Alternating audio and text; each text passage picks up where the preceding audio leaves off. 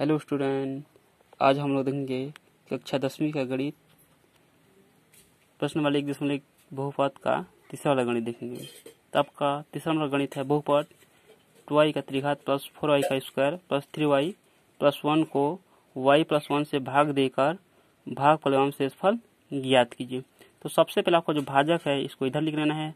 जो भाज्य आपको डिबा के अंदर लिख लेना है। ठीक है? उसके बाद आपको देखना है पहला वाला। का पहला में आपका क्या है? टू आई का त्रिघात है। तो इसमें से क्या गुना करें कि हमें टू आई का त्रिघात प्राप्त हो जाए? तो यहाँ वाई है तो यहाँ क्या है? टू आई का त्रिघात है तो यहाँ एक वाई है, और टू आई का इसको से गुना करते हैं तो टू आई का त्रिघात हमें प्राप्त हो जाता है। चलो गुना करके देखते हैं। वाई प्लस वन गुणित टू आई का स्क्वायर ठीक है? अभी टू आई का स्क्वायर हो जाएगा। यहाँ प्लस यहाँ प्लस है तो प्लस हो जाएगा। और यहाँ टू वाई स्क्वायर है, यहाँ वाई है तो वाई का त्रिघात हो जाएगा, क्योंकि गुणा में घात जुड़ता है, ठीक है? अब गुणा करने के बाद आपको इसको इसके नीचे उतार लेना है। तो गुणा के तो कितना है आपका? टू वाई का त्रिघात प्लस टू वाई का स्क्वायर टू वाई का त्रिघात प्लस टू वाई का स्क्वायर आया। इसको ऐसा लिखने के बाद नीचे लाइन खींच लेंगे ठीक है? अब जिसके साथ गुणा किए, इसको आपको यहाँ उतार देना है टू वाई का स्क्वायर अब इसको ले, ऐसा लिख लेने के बाद आपको घटा देना है इसको। तो जहाँ प्लस होता है नीचे माइनस होता है तो कट जाएगा। यहाँ प्लस है तो इसके नीचे क्या होगा? माइनस होगा। तो नीचे का माइनस, ऊपर का प्लस घटेगा।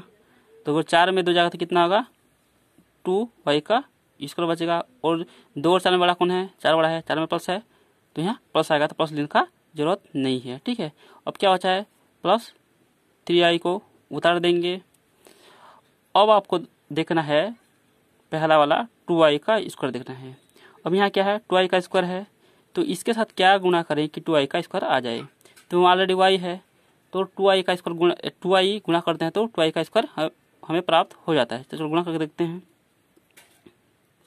वाई प्लस वन गुणा टू आई तो ये टू आई कम टू आई होगा, और यहाँ का टू आई और वहाँ का यहाँ का प्लस और यहाँ का प्लस प्लस हो जाएगा।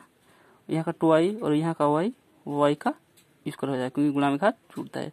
तो गुणा करने के बाद आपको इसको इसके नीचे उतार देना है। टू आई का स्क्वायर प्लस टू आई ठीक? उतारने वाला उसके नीचे ऐसा लाइन खींच लेना है। अब जिसके साथ गुणा के, इसको यहाँ उतार लेना है। तो प्लस टू आई अब इसको घटा देना है। जहाँ प्लस है, उसके नीचे माइनस होता है तो कट जाएगा। जहाँ प्लस उसके माइनस है। तो नीचे का माइनस ऊपर का प्लस घटेगा तो क्या आएगा? दो में तीन जाएगा तो वन वाई होगा। बस सिर्फ़ वाई लिखेंगे। दोनों से कौन बड़ा है? तीन बड़ा है। तो तीन में प्लस है तो यहाँ प्लस ही रहेगा। और क्या बचा अब? प्लस वन बचा है। तो प्लस वन को आप यहाँ उतार देना है। अब आपको देखना है इसको पहला वाला को। यहाँ क्या है? आपका वाई है। तो इसके साथ क्या गुणा करें कि हमें वाई प्राप्त हो जाए? तो यहाँ भी वाई है, यहाँ भी वाई है। तो एक के साथ गुणा करते तो हमें वाई प्राप्त हो जाता है। चलो गुणा कर देखते हैं।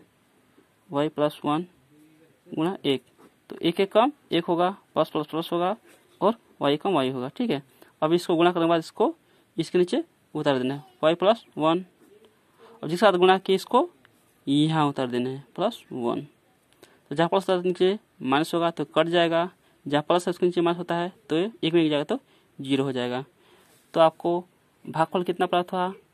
तो भागफल प्राप्त हुआ आपको भागफल टू आई का square plus two Y plus one प्राप्त हुआ, और शेषफल कितना प्राप्त हुआ आपको? शेषफल ज़ीरो प्राप्त हुआ। तो वीडियो को देखने के लिए बहुत बहुत धन्यवाद, और वीडियो आपको अच्छा लगा तो प्लीज़ सब्सक्राइब कर दे और लाइक कर दीजिएगा। धन्यवाद।